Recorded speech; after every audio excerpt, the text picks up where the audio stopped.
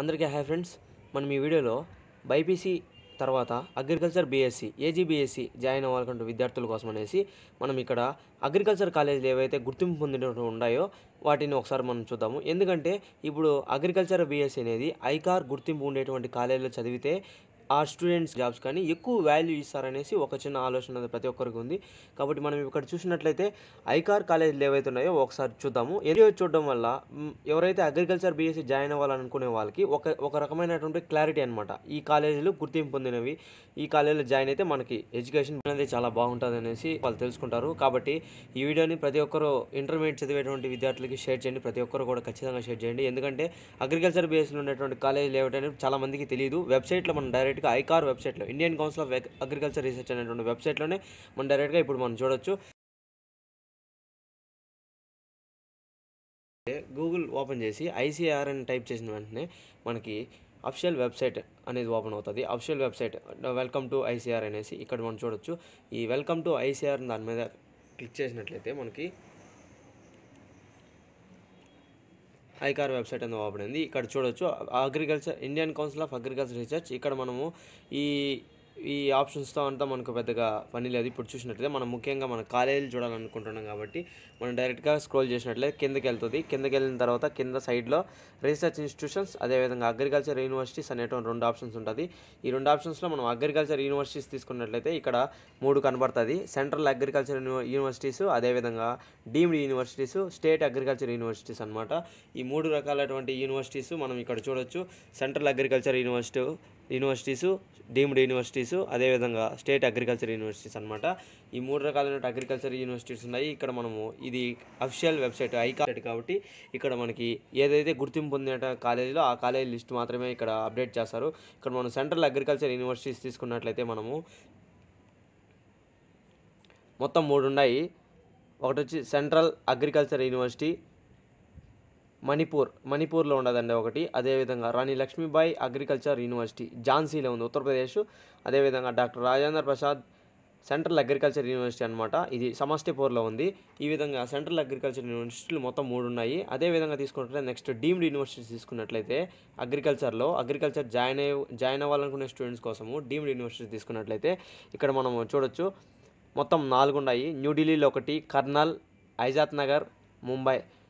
Indian council of agriculture research సంస్థ కింద deemed university మొత్తం నాలుగు ఉన్నాయి ఇండియన్ అగ్రికల్చర్ రీసెర్చ్ ఇన్స్టిట్యూట్ న్యూఢిల్లీలో ఉండేది. అదేవిధంగా నేషనల్ డైరీ రీసెర్చ్ ఇన్స్టిట్యూట్ కర్నల్లో ఉంది ఇది అదేవిధంగా ఇండియన్ వెటర్నరీ రీసెర్చ్ ఇన్స్టిట్యూట్ ఐజాద్ నగర్లో ఉండేది central institute of fisheries education అంటే చేపల చేపల పెంపకం మత్స్య పరిశ్రమకు సంబంధించినటువంటి ఎడ్యుకేషన్ అనేది ముంబైలో ఉండేటువంటి యూనివర్సిటీ అనేది ఉన్నది. ఈ విధంగా నాలుగు యూనివర్సిటీ డీమ్డ్ యూనివర్సిటీలు ఉన్నాయి. ఈ విధంగా మనం ఇంకొకటి స్టేట్ అగ్రికల్చర్ యూనివర్సిటీస్ తీసుకున్నట్లయితే ఇదే మనకు చాలా ముఖ్యమైనవి స్టేట్ అగ్రికల్చర్ యూనివర్సిటీస్.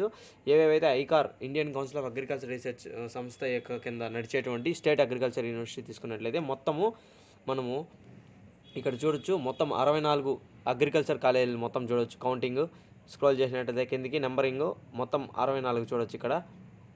అరవై నాలుగు.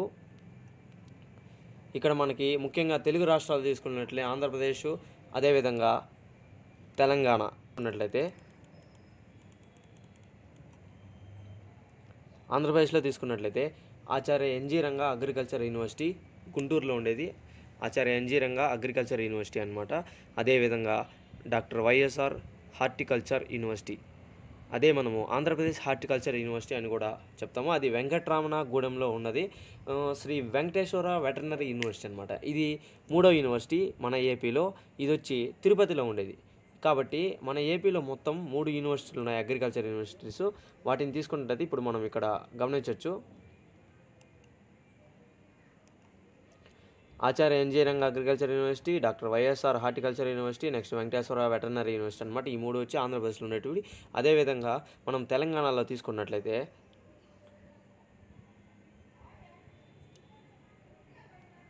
తెలంగాణలో కూడా మొత్తం మూడు కాలే మూడు యూనివర్సిటీలు ఉన్నాయి. ఇక్కడ చూసినట్లయితే Shri Konda Laxman Telangana state agriculture university Shri Konda Laxman Telangana state agriculture university హైదరాబాద్లో ఉంది.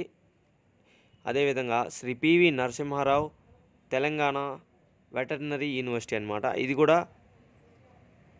professor Jayashankar Telangana state agriculture university ఈ విధంగా మొత్తం మూడు యూనివర్సిటీలు మన తెలంగాణ స్టేట్లో ఉన్నాయి. కాబట్టి ప్రతి ఒక్క స్టూడెంట్ కూడా ఎవరైతే బైపీసీ బైపీసీ చదువున్నారో ప్రతి ఒక్క బైపీసీ చదివిన స్టూడెంట్ ఎవరైతే B Sc agriculture agriculture B Sc course join అయిన జాయిన్ అవ్వాలి అనుకునే వాళ్ళు ఈ ఖచ్చితంగా ఈ వీడియోని అయితే చూడండి ప్రతి ఒక్కరూ ఈ కాలేజీ లిస్ట్ మనం తెలుసుకోవడం వల్ల ఏ విధంగా మనం గుర్తింపు పొందినటువంటి కాలేజీలో జాయిన్ అవ్వడానికి ఆస్కారం అయితే ఏ విధంగా లేదు.